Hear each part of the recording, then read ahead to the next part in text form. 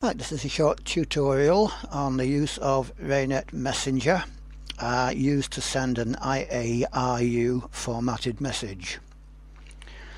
I have uh, Raynet Messenger set up with my call sign in both the uh, originators and the receive uh, fields so effectively I'm sending the message to myself for the purposes of demonstration. I'll also have it set to GMSK 250 mode. Okay, um, I've prepared a template in IARU message format, uh, prepared in Notepad, saved as a read-only file so that it can't be overwritten. So it's just a matter of filling in the various fields, message number, precedence, station origin, etc.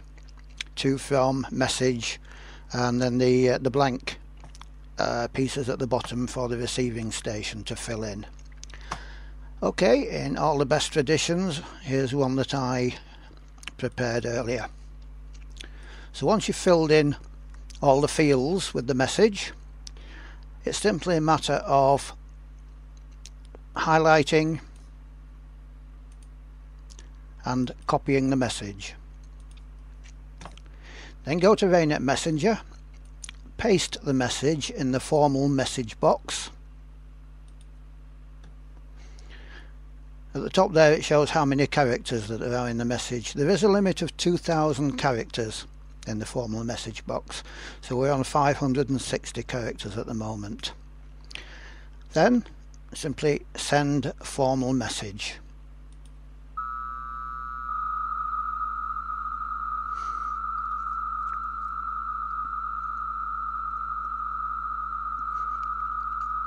The message is being sent. Once the message is being sent you will see the, or hear the acknowledgement coming back from the from the distant station. That's the acknowledgement coming back from the distant station. And you'll notice that this window returns to highlighted blue text which means that the acknowledgement has been accepted and the message has been received at the other end. Okay where do you find the message? Open log file received messages. And the message that you've just received is in in the in the log file.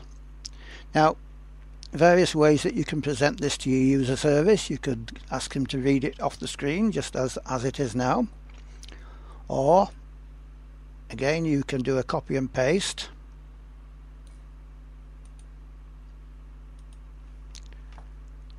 Close that window. Open a new window in notepad paste it in.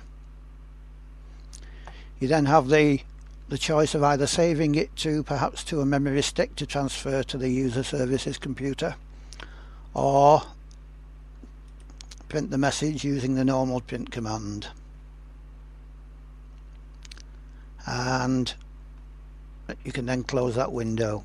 You don't need to save it because all incoming messages are in fact saved in the received messages log file. And that's basically all there is to it.